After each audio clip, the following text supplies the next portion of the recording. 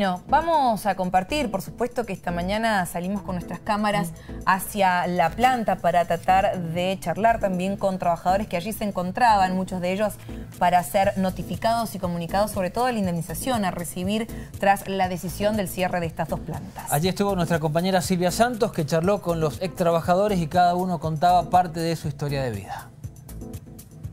Y acá han decidido cerrar las puertas, eh, cerrar no trabajar más porque dice que le damos pérdida a la empresa y han decidido.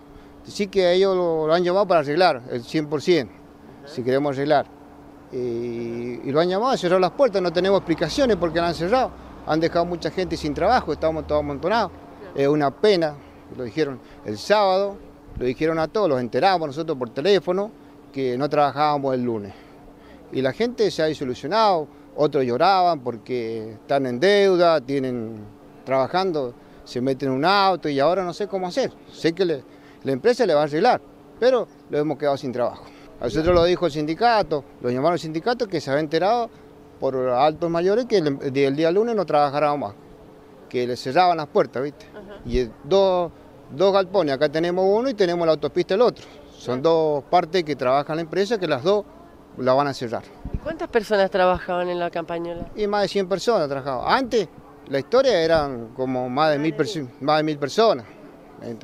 y fueron bajando las personas y fueron sacando, llevándose máquinas.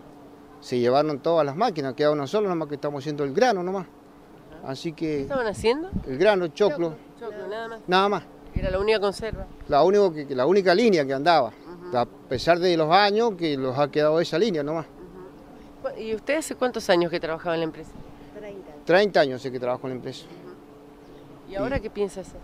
Y no sé, ahora con esto lo, la bajó la moral, estamos desilusionados, estamos con la edad que tengo, ¿a dónde vamos a ir a conseguir trabajo? Lo dan una posibilidad para ir a Villa Mercedes, pero ¿qué pasa? Tenemos que ir a alquilar a otra provincia.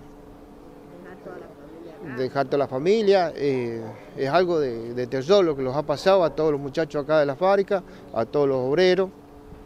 Eh, y estamos ahí. ¿Qué va a hacer? ¿En qué sector, sector usted trabajaba? Eh, en todo, operar en general soy. Eh, nosotros trabajamos hasta el día miércoles, con 12 horas hemos estado trabajando esta temporada y mm, nos llevamos esta sorpresa porque creí que seguíamos el año que viene incluso.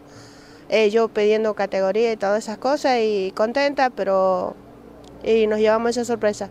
Muchas familias quedamos afuera en la calle, eh, a nivel mundial, que es una empresa Arco que compró, que antes era de la Campañola, ahora es de Arco, pero no sé, no, no tienen explicación por qué ni cuánto, hasta ahora no sabemos qué vamos a hacer. Es un arreglo 100%, pero usted sabe que hoy en el día, con la edad que tenemos, ¿dónde vamos a conseguir trabajo? ningún lado. ¿Usted y su marido se quedan sin trabajo? Sí, sí, somos dos matrimonios. ¿No, ¿No han evaluado la posibilidad de irse a San Luis? Sí, pero nos dan la posibilidad de ir, pero a él solo porque es efectivo él y yo no porque yo soy temporaria y hace 30 años, pero todavía no soy efectiva, yo tampoco. ¿Hace 30 años que es trabajadora temporaria? Sí, sí, sí. ¿Nunca la efectivizaron? No, no, nunca. Porque con la campañola había más posibilidad, pero ahora con arco no, no dejaron más efectivo.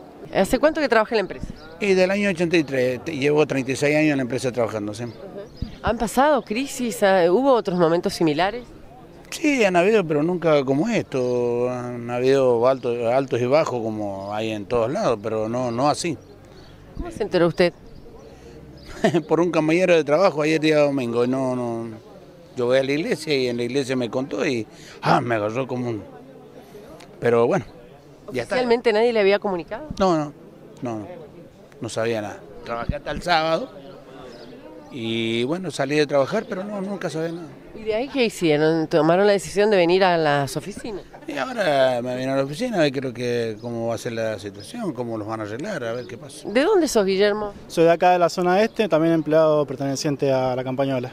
¿Eres efectivo? Soy efectivo hace más o menos 5 o 6 años, aunque entré el año 2000 como temporario, bueno, después pude quedar como, como efectivo.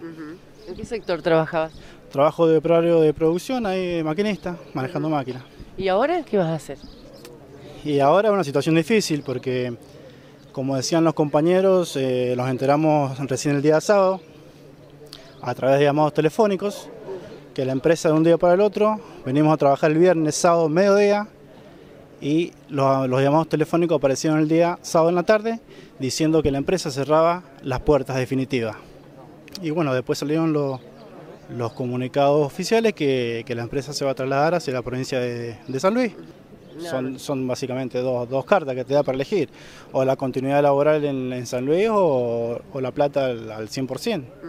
Pasa que para ir a San Luis está complicado porque allá tenemos que empezar de nuevo. Eh, hay que pensar en un alquiler. Eh, tampoco creo eh, que estamos seguros del trabajo allá, porque la situación está mala también allá. Eh, también yo he visto que acá esto es un cierre, pero es un cierre por limpieza de personal más que todo. Porque acá están los galpones con mercadería, están llenos con mercadería, está toda la maquinaria, van a hacer la jardinera y lo van a hacer, no con nosotros, pero lo van a hacer. Eh, yo estoy trabajando últimamente allá en el depósito del acceso, el acceso está lleno, traen mercadería de otras provincias ahí. Eh, eso lo tienen que sacar, esa mercadería. Eh, entonces les hace falta gente.